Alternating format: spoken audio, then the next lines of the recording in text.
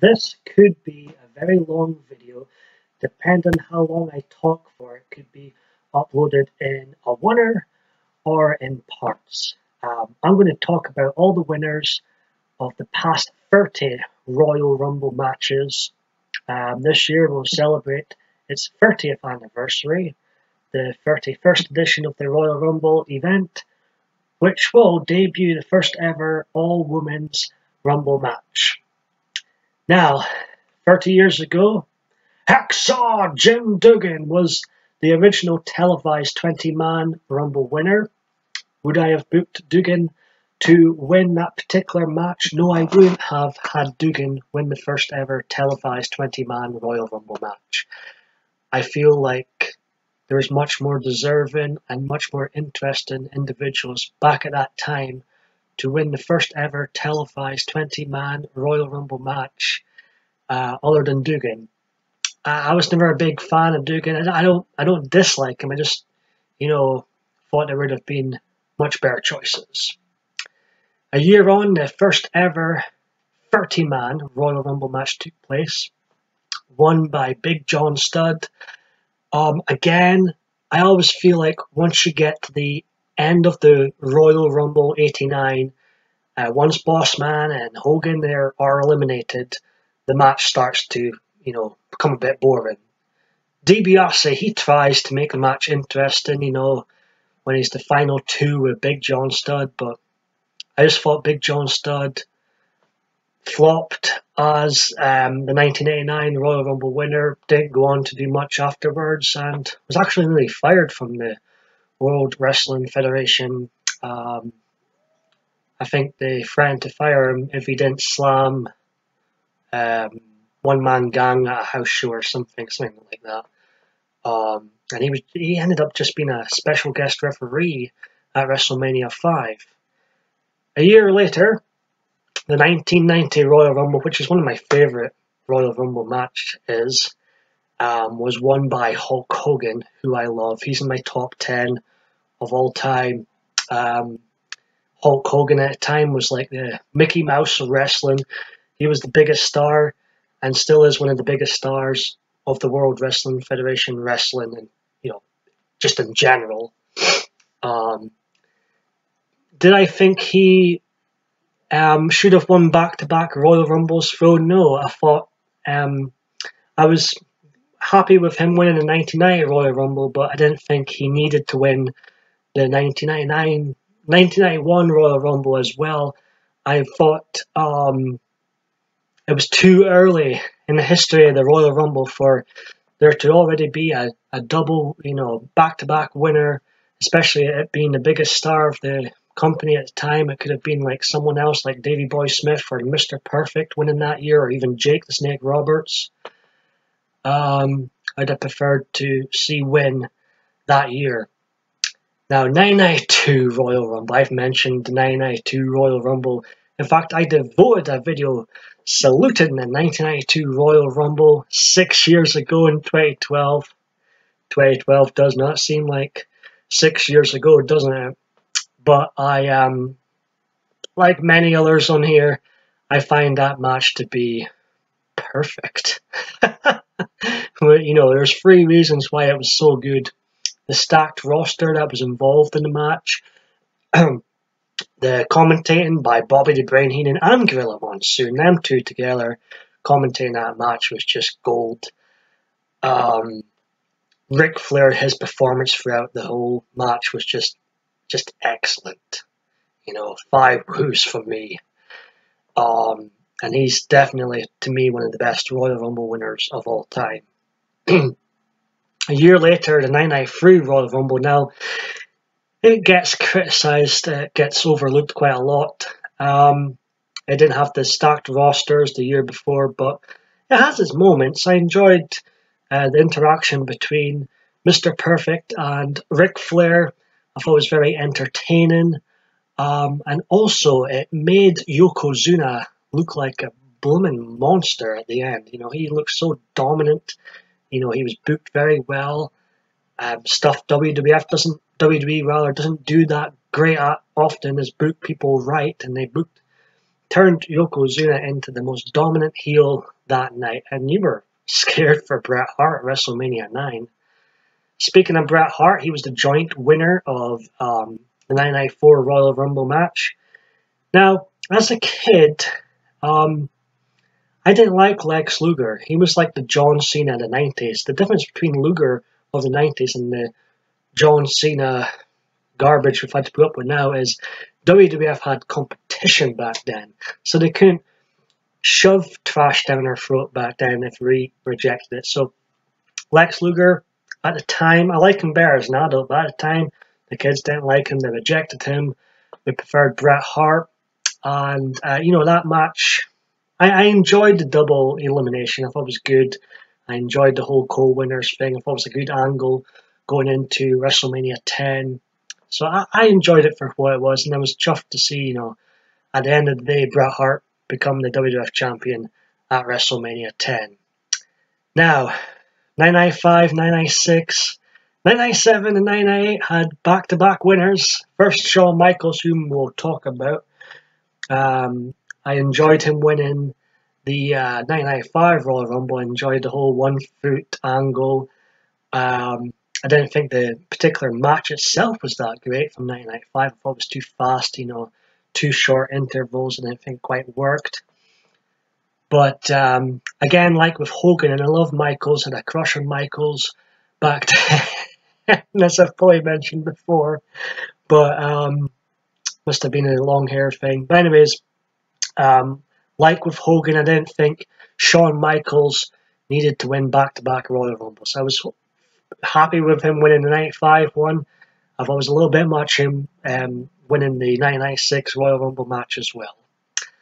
Um, as for the other back-to-back winner and the only wrestler to win three Royal Rumbles, um, Stone Cold Steve Austin, he won his first two in 1997 and in 1998. Now, to me, his back-to-back Royal Rumble wins worked because he was a heel and it was surprising when he won in 1997. No one expected it. He wasn't quite, you know, top level star yet. Um, he had his King of the Ring moment, had his fantastic match with Bret at the Survivor Series, but um, no one really bought in. No one really thought that WWE was going to push him um, to the that WrestleMania caliber main event quite yet, and it was a shock when he won the Royal Rumble, and it was it was a good shock. It was funny. I, I enjoyed that booking. It was really really well done, I thought, and great storytelling. He was the MVP of that match. As for his 998 Rumble win, he, the only person that should have won a 998 Royal Rumble was Stone Cold Steve Austin. He was the guy of the 998. And the, the attitude, had the star, biggest star. Um, one of the biggest stars of all time for sure. You know, you could argue Hogan Austin, Rock, you know, it's between those three for sure. But 998, Steve was the man, and I, that match was such a fun rumble to watch, and he definitely deserved to, to win. As for the 999 Royal Rumble match, it gets um, shit on quite a lot by some people. Um, you know, I watched it as a kid and I really enjoyed it. The the build up towards the match with Vincent Steve Austin, one, and, and number two was absolutely excellent. As much as we shit on Vince McMahon these days, as a wrestler, wrestling character, he was at his best when he was going up against Steve Austin. He was fantastic as a heel. Um, look at his reaction when Steve Austin arrives back uh, driving the ambulance and Vince McMahon's just in total disbelief. He sold it so legit and so well. You just he just bought into the feud between him and Steve Austin. Sorry, the video cut out there abruptly.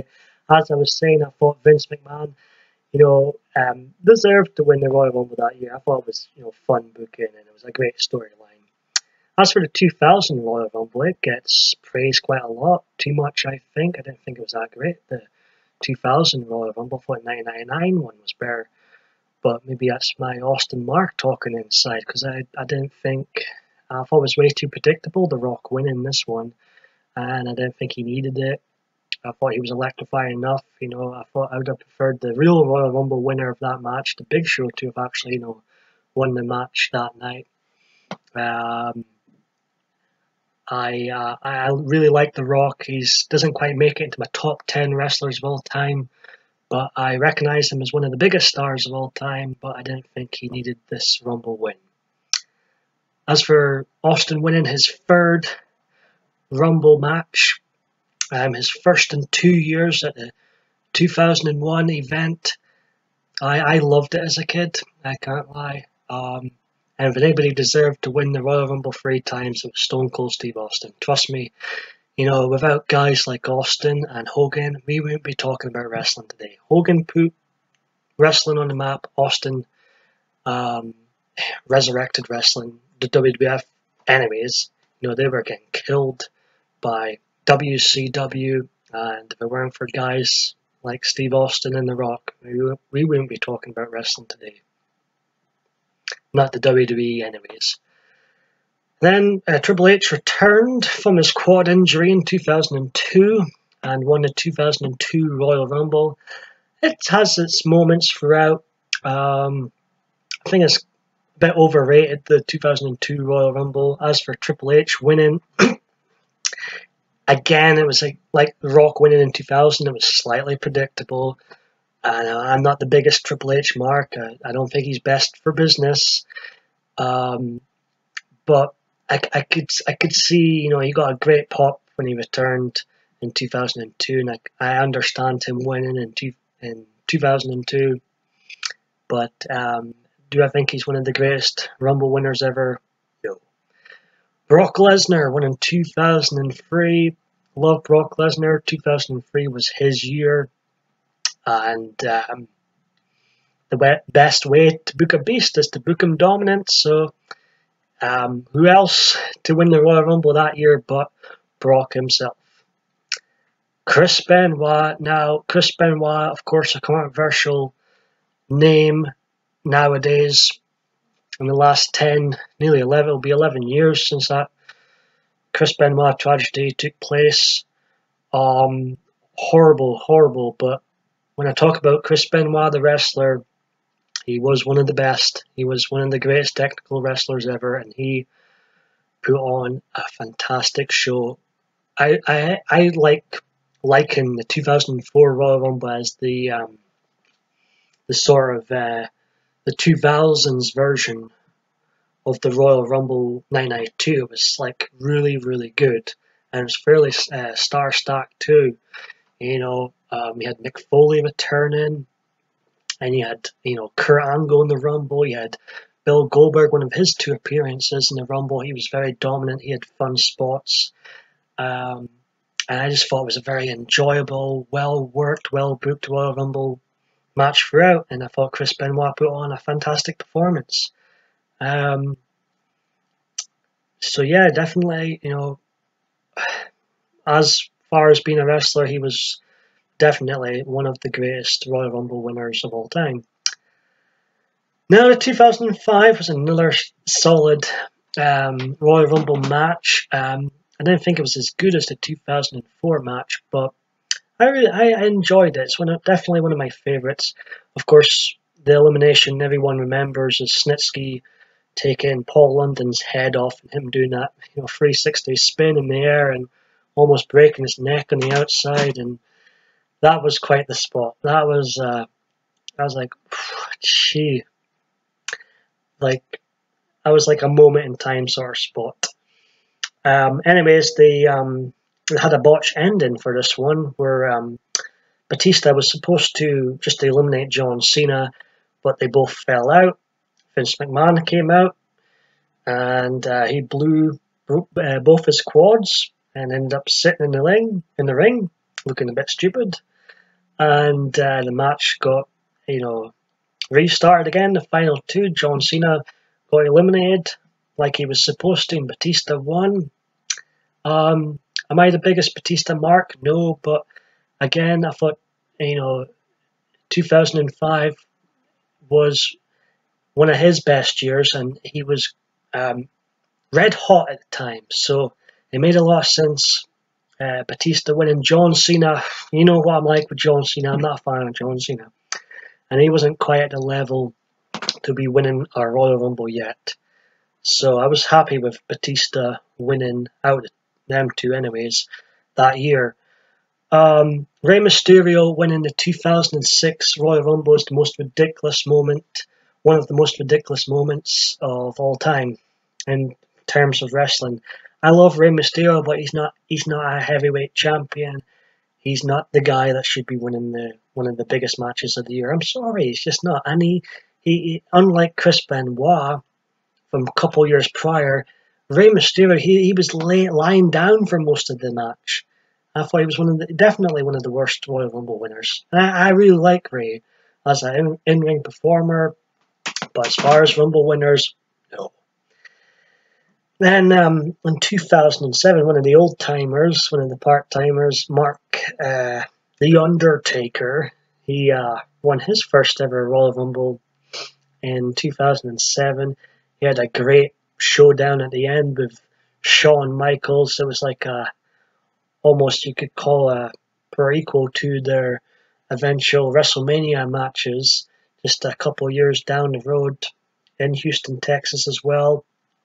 And um, it was nice to see, even for.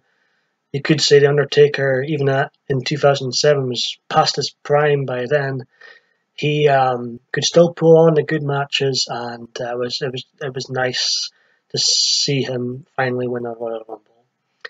And at the time, of course, is you know he still had his streak, and um, he was being booked right at the WrestleMania events, and um, yeah, it was it was it made it interesting heading into WrestleMania 23. Um, 2008, oh, I had a blank there almost, but then I remembered. Yes, John Cena. His surprise. I remember watching it live, and you know I was one of the fans, the smarks, that was legit shocked to see him because you heard, you know, in the dirt sheets that uh, John Cena was going to be injured, he was going to miss WrestleMania. So, so it was a legit surprise when he entered number 30 at the 2008 Royal Rumble. Um, was I happy to see him win? No, because I'm not a fan, but uh, it was better than Triple H winning again. Uh, 2009, Randy Orton um, I was uh, I was watching it live. I was on the road to the only WrestleMania I've been to in attendance. It wasn't the best WrestleMania, but it did feature you know Shawn Michaels v The Undertaker and perhaps the best WrestleMania match of all time. So there was that. So I was watching it and I was like, yeah, this is weird. I'm going to be at this WrestleMania this year, and we're on a road to WrestleMania. And I thought the storyline, even though the match turned out to be the shits. I thought the storyline leading into WrestleMania between Randy Orton and Triple H was excellent, but the match not so excellent. As for Orton winning the Royal Rumble, his first of two, yeah, he, he, he was definitely the man to win that year. I had a had a slight feeling Triple H was going to win for you know, and I was I was nervous towards the end when I was watching it, but I was, I was glad to see Triple H get dumped out. Uh, 2010 Edge. Now, I am. I always thought Edge was entered the Hall of Fame way too early. I know he retired, and that's what they usually do. They put the one of the top stars in after they retire and stuff. But when Edge went in the Hall of Fame before Macho Man and Warrior and Jake Roberts, I thought it was a sin, complete, a total sin. Considering Edge was a fan of those guys, when he was in uh, attendance at WrestleMania 6, and he's in the Hall of Fame before them. I don't know. I, I, Demolition still not in the Hall of Fame. Anyway, I'm rambling on. this is going to be a long video. This will probably be uh, two parts at least. But um, I didn't think the ending was that great. You know, John Cena just sort of got chucked over. It was sort of like just a another Rumble you know, elimination, it, it wasn't very exciting. It was, you know, where the returns happened before, we've seen it done with Triple H. You may have seen it done with Austin when he returned to the company. And you just know when a major superstar returns that they're they're they're going to win the Royal Rumble. And when they start doing it two, three times by 2010, you know, with John Cena, his shock return as well, it starts to get a little bit a little bit dull. You know, they need to you know start mixing it up when they start repeating it. You know, the same formula over and over again. And uh, I wasn't. I just thought, you know, it's a new decade. I thought, you know, Edge was at the end of his career. Um, he only lasted another year, and I thought, you know, it was, it was time for like a CM Punk uh, to win the Royal Rumble match, especially in a new decade. 2011 was the first ever 40 man Royal Rumble, and the only one to date. It was actually the first Royal Rumble event I reviewed on YouTube. Um, I had just been on YouTube less than a year by January and I reviewed it. Not a very good review, but it was the first. Um, Alberto Del Rio won it. I enjoyed, I remember enjoying parts of the 2011 Royal Rumble. It was a very long match, obviously, but I did enjoy it and it was a nice, like a breath of fresh air, someone other than a top star, um, someone fresh who's never won it before, and it was quite, you know, to me anyway, I was quite shocked to see Alberto Del Rio winning. Um, now, around that time, 2010, 2011, I hadn't been watching as much WWE product perhaps if I was. I would have not been so surprised of Del Rio winning, but when I, I was watching it live, I was, you know, generally surprised that John Cena never won. I was happy to see The Miz eliminate him. 2012, I didn't watch live, but I watched later on. Uh, Sheamus, uh, he won the Royal Rumble match. Uh, Sheamus Again, I've never been quite a fan of Sheamus. I think his best work is now when he's tag teaming with Cesaro. They put on hell of a tag team matches. But um, I wasn't too impressed with when I heard Sheamus won the 2012 Royal Rumble. I thought there was much more talented guys around at the time that could have, you know, won the Royal Rumble match, and I didn't think Sheamus. Uh, I wouldn't have picked Sheamus to win. Um, John Cena, he got his second Royal Rumble win. He may get his third Royal Rumble win this year. That's the, you know, I think he's odds-on favourite to tie Steve um, in most Royal Rumble victories. Um, I don't, I don't think uh, 2013 or 2012 Royal Rumbles matches overall were great. John Cena winning again to uh, headline against The Rock at WrestleMania 29, the twice in a lifetime match. It was just far too predictable, and nobody wanted to see that match again. And it, it, it was a stinker of a main event. Um, and then we get into the two of the most infamous Rumble matches back to back. Um, fans did not enjoy 2014 or 2015 Royal Rumble. 2014 one was won by Batista.